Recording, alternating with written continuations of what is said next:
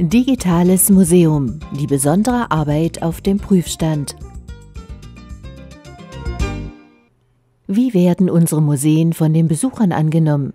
Wie werden Kinder und Jugendliche einbezogen? Wie kann aus verstaubter Geschichte etwas Interessantes werden?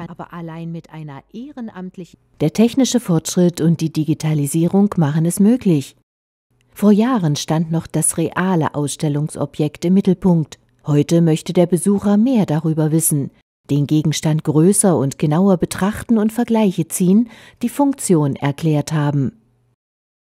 Eine spezielle Führung, wie sie noch in einigen Heimatmuseen erfolgt, kann aufgrund von Personalmangel in größeren Einrichtungen meist nur bei angemeldeten Gruppen vorgehalten werden. Museumspädagogen gestalten solch einen Besuch auch für Kinder möglichst abwechslungsreich und verbinden ihn mit Tätigkeiten wie Basteln, Schatzsuchen, Malen usw. So Im landwirtschaftlichen und handwerklichen Bereich werden auch alte Geräte wieder zum Einsatz gebracht, um die Anschaulichkeit zu verbessern. Es geht aber auch um den individuellen Besuch und da sollen Erwachsene und Kinder gleichermaßen angesprochen werden. Von Vitrinen, in denen Gegenstände liegen und von Modellen, die nur vom Weiten zu betrachten sind, werden nur noch wenige Besucher angesprochen. Besser sind da die interaktiven Möglichkeiten, die bei entsprechender Handhabung auch ein Erfolgserlebnis versprechen. Filme sind eine weitere Möglichkeit, den Besucher ins Geschehen einzubeziehen. Noch besser ist es, seine unterschiedlichen Sinne anzusprechen. Ein digitales Museum wird oft als ein Computer- bzw. multimedial unterstütztes Museum beschrieben. Dazu gehört aber auch die Webpräsenz. Das Zeigen von Bildern reicht da nicht aus. Die Besucher müssen umfassende Informationen bekommen und je nach Bedarf auch den einen oder anderen Link erhalten. Die Erweiterung des physischen Museums mit virtuellen Verknüpfungen ist natürlich auch eine finanzielle Herausforderung. Wie soll ein Museum der Zukunft aussehen? Ja, jedenfalls so interessant, äh, dass die Leute hinfahren und sich äh, im Museum umschauen, was das Museum zu bieten hat. Die spannende Frage ist, äh, wie das Museum auf seinen Bestand aufmerksam macht. Und da gibt es ganz viele unterschiedliche Strategien. Und eine Strategie ist natürlich die Frage der Digitalisierung, über die wir heute mal reden können. Ich denke mir, es muss in diese Richtung gehen, dass die jüngeren musealen Besucher, sprich Familien mit Kindern, abgeholt werden und dass wir Museum auch mit Anfassen machen, mit Mitmachen machen äh, und das Museum wahrscheinlicherweise nicht mehr so starr in Vitrine äh, funktionieren darf. Das Museum der Zukunft ist äh, in meinen Augen prinzipiell erstmal äh, ein digitales Museum, ein Ankerpunkt. Die Spinne im Netz, die sozusagen partizipative Möglichkeiten bildet, ähm, breite Bevölkerungsschichten um sich herum schart, äh, identifikationsstiftend wirkt, also auch seine Wurzeln nicht verliert, ähm, prinzipiell. Also das wäre der große allgemeine Rahmen, den ich spannen würde. Stark, erfolgreich und analog. Es wird wahrscheinlich sehr viel äh, Digitalisierung nutzen, Virtualität, virtuelle, also virtuelle Realität, Augmented Realität, erweiterte Realität auf Deutsch. Und es wird äh, sozusagen möglich sein, wahrscheinlich sehr viel auch interaktiv zu nutzen. Ja? Es auch verteilt besuchen zu können, nicht immer an einem Ort sein zu müssen, um die Exponate zu sehen. Ähm, ich glaube, dass es eine sehr viel höhere Interdisziplinarität geben wird. Das heißt, der klassische äh, Beruf eines Kurators wird sich im Wesentlichen verändern hin zu einem mehr managementbasierten System, wo man verschiedene Kompetenzen auch aus ähm, fachnahen Gebieten und natürlich dazu gehört auch die Technologie ähm, einsetzen muss, steuern muss, ähm, um das Museum letztendlich ins 21. Jahrhundert zu transportieren. Museum der Zukunft muss ein multimediales Museum sein. Einmal vor Ort Dinge zum Anfassen, eventuell Dinge zum Nachschlagen, die Archive sollten offen sein und äh, die Nutzung eventuell digitaler Archive. Ein Museum stelle ich mir in der Zukunft als sehr interaktiven Ort vor.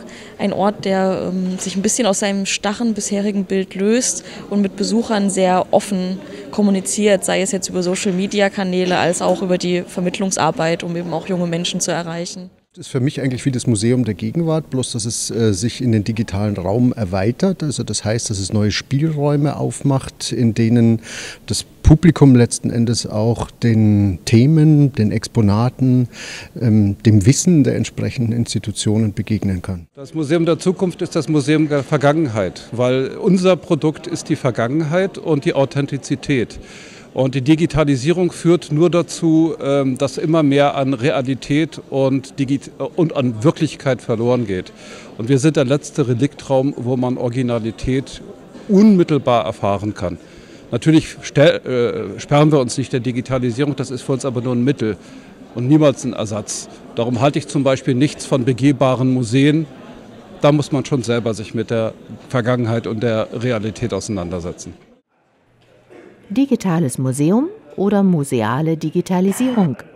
Der Museumsfachverband Sachsen-Anhalt tagt an der Hochschule Harz und diskutiert über das aktuelle Problem. Äh, Christian Reinboth, der begleitet dieses Projekt schon seit sehr vielen Jahren. Das hat mal, ich habe schon versucht zu recherchieren, ich weiß nicht mehr äh, genau wann es war, aber vor sehr vielen Jahren äh, seinen, äh, seinen Ausgang hier in Wernigerode genommen.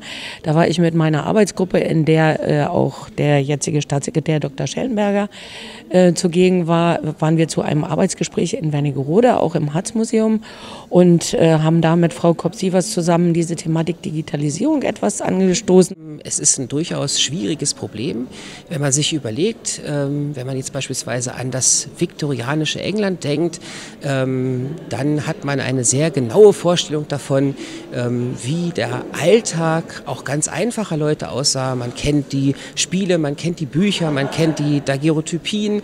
Heutzutage ist alles digital. Wenn ich an die Museen denke, die wir hier im Umfeld haben, zum Beispiel gibt es ein sehr schönes Dorfmuseum in Sielstedt und da kann man noch von den letzten 50 Jahren die Klassenfotos und und und bewundern.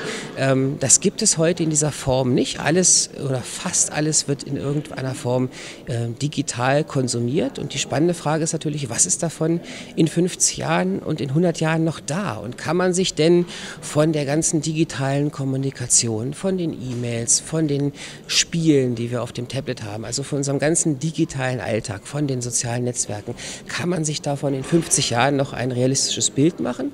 Oder wird unser heutiger Alltag im Gegensatz, sagen wir mal, zum viktorianischen Alltag oder zum dörflichen Alltag von vor 40 Jahren, wird der sozusagen verschwinden und äh, nur zu ganz geringen Bruchstücken noch nachvollziehbar sein? Ich denke, das ist eine sehr spannende Frage, wie man heute mit äh, Medien umgeht, wie man mit äh, Daten umgeht. Und man weiß ja, die Leute möchten immer weniger lesen, möchten schnell informiert sein. Und das geschickt in den Griff zu kriegen, das ist die spannende Herausforderung der Zeit. Und wenn ich gerade selber überlege, ich habe gerade im Auto jetzt nochmal recherchiert und habe mitten im Netz ganz schnell ganz viele Informationen zusammengekriegt. Das hätte man früher nie geschafft, heute geht's, aber man muss auch damit umgehen können. Und das ist die spannende Frage. Gehen alle Museumsbesucher jetzt nur noch ins Internet? Oder wie können sie wieder ins reale Museum gelockt werden? Es sollte versucht werden, auch außerhalb des Netzes mit ihnen in Kontakt zu treten. Leere Schaufenster in Aschersleben werden zum Beispiel zeigen, welche interessanten Fundstücke und Geschichten es in der musealen Ausstellung zu sehen gibt. Außerdem gehen Museumspädagogen mit einem Koffer voller Schätze in die Schulen, um die Neugier zu wecken. Und das alles ist nicht digital, sondern direkt zum Anfassen.